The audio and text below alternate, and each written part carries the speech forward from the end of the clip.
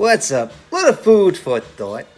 It's been a while. Um, why are we caring about what people think or say about us? Answer me. Really quick. Why? Do they pay your bills? Do they put a roof up over your head? I don't know, they don't do it for me. Uh, do they feed you? Take care of your children? Motivate you, lift you up? No, right?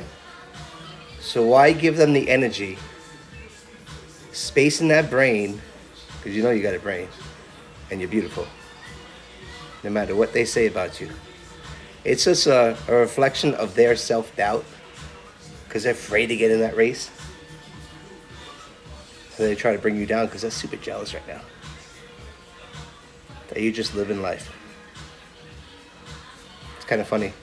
When you live life, and you stop worrying about what people think or say about you, it's kind of hilarious that they're still miserable while you're thriving.